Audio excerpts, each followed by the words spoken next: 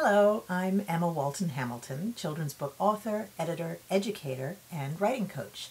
And together with my mother, Julie Andrews, I have co authored over 25 picture books and novels for children and young adults. I'm on the faculty for Stony Brook Southampton's MFA in Creative Writing and Literature, and I also serve as director of their Children's Literature Fellows program. Because of the many hats I wear, I am often asked for advice by aspiring children's book authors. What do I do to become a better writer? How do I get published? I wrote a children's book. Now what?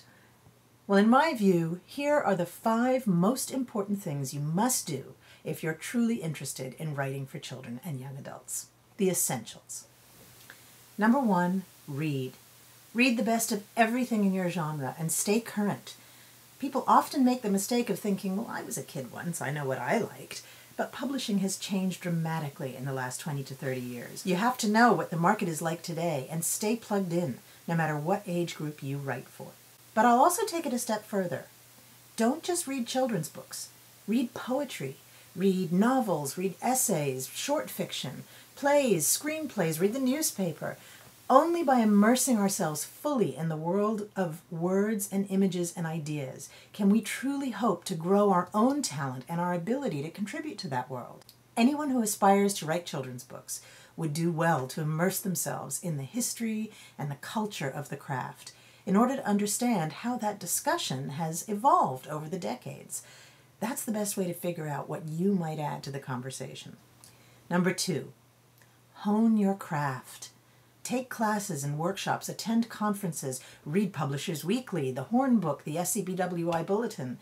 Keep stretching, learning, sharpening your skills, even or maybe especially after you've sold your first manuscript. Even if you live in a remote area, you can find wonderful home study courses. I offer a few myself in writing picture books or middle grade and YA novels. You can find out more about them at justwritechildrensbooks.com. Three, Find community. Writing can be a solitary business. I'm lucky. I write with a partner and I work for a graduate writing program. But it's really important to find your tribe and connect with them regularly. Find a supportive critique group, attend conferences, join forums, take classes, whatever it takes to connect with other writers. It will keep you sane and honest.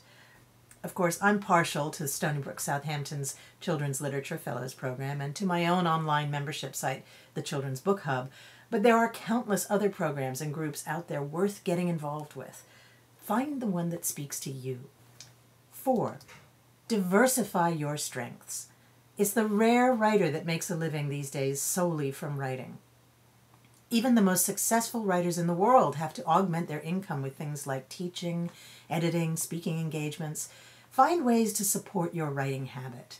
Be willing to have a day job, do whatever it takes, but whenever possible, try to make those other sources of income writing based, such as freelance writing, editing, or teaching. One of the best resources I know for finding freelance writing work is my friend Peter Bowerman, whose Well Fed Writer books, website, and newsletter has helped scores of writers support themselves by doing what they love to do writing. And five, focus on rewriting more than writing. Writing well is all about revision. I love the old adage about Michelangelo, who, when asked how he created the David, apparently replied, I just knew the David was inside the stone, and I chiseled away at the excess to reveal him. Well, I think of writing like that. In the beginning, you have to pour it all out onto the page, no censorship. But when it comes time to revise, you have to know how to do so and make that process just as important, if not more so, than getting the first draft out on paper. You have to chisel away at the excess and polish, polish, polish. If this is a challenge for you, you might take a look at my Editor in a Box revision kit, which includes a comprehensive six step process for revising your manuscript and countless checklists, tools, and resources for making your writing the very best it can be. Once you've made your submission and you're waiting for your answer, write more. Continue revising or write something new, but keep flexing that muscle. That's the main difference between being a writer and being an author. It's a lifetime pursuit. Thanks for listening. You can find out more about my courses and resources for children's book authors at emmawaltonhamilton.com. To your success.